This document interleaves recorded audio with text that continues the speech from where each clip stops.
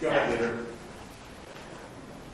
Well, we're pleased today to welcome Judge Barrett uh, to begin the process of advising the consent in the Senate. As you know, she'll be visiting with uh, members who are interested in uh, talking to her uh, during the course of the next few days. And uh, we're glad to have her here and glad to get the process started.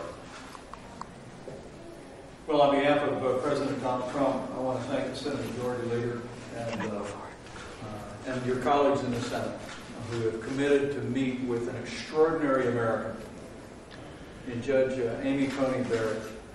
Uh, we have someone of great character, of great intellect, uh, who has a judicial philosophy that will uh, uphold the Constitution of the United States. President Trump discharged his duty under Article 2 uh, to nominate uh, Judge Barrett uh, to the vacancy on the Supreme Court of the United States. And now we look forward, our entire team leader, working with you, Republicans in the Senate, and we hope uh, Democrats in the Senate as well, as you discharge your duty to advise and consent. We truly do believe that Judge Barrett uh, represents the best of America personally in terms of her great intellect, her great background, uh, and uh, we have every confidence that as the American people learn more uh, about Judge Amy Coney Barrett, they will be as, uh, as inspired as President Trump was when he made her nomination. But we believe the Senate has an opportunity, leader, for a, a, a fair and respectful consideration, a hearing. We urge uh, our Democrat colleagues in the Senate uh, to take the opportunity uh, to meet with Judge Barrett. And as the hearing goes forward, to provide the kind of respectful uh, hearing uh, that the American people expect. We look forward to uh, a vote in the Senate in the near future to fill the seat on the Supreme Court of the United States because uh, the American people deserve a justice like Judge Amy Coney Barrett. The American people deserve nine justices on the Supreme Court of the United States. So thank you, Leader, for the warm welcome today. We look forward to working with you. Leader McConnell, if Judge Coney Barrett is confirmed, should she recuse herself from any election related cases? All right, folks, let's do it. Thank you. Let's go. Do you intend to try to confirm her before the election? Thank you.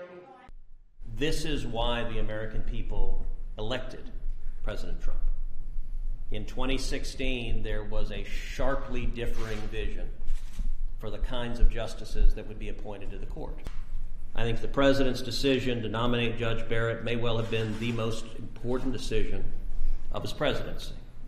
And in making this nomination, the president was fulfilling the promise he made to the American people. The next few weeks promise to be a circus. Uh, unfortunately, I expect my Democratic colleagues to do everything they can to attack Judge Barrett. We've already seen the beginning of this to attack her family. The attacks have been despicable, and I very much hope we don't see them recreate the personal smears that marred the Kavanaugh confirmation hearing. The, the entire reason that the Senate should act and should act promptly to confirm a, a ninth justice is so that the Supreme Court can resolve any cases that arise in the wake of the election. Uh, this election is a close contested election. Uh, Joe Biden has already stated that if he doesn't win, he intends to contest the legitimacy of the election. If we see multiple cases challenging the election, if the court were to have only eight justices, it could divide 4 4. And under the Constitution, a 4 4 court can't decide anything. We could face conflicting Court of Appeals judgments simultaneously with no Supreme Court able to resolve that. That would be an untenable situation. It, it would create a constitutional crisis. That's part of the reason the Senate needs to act and act swiftly so that we have nine justices. Uh, what I'm looking for, and I think she stands for, is the rule of law.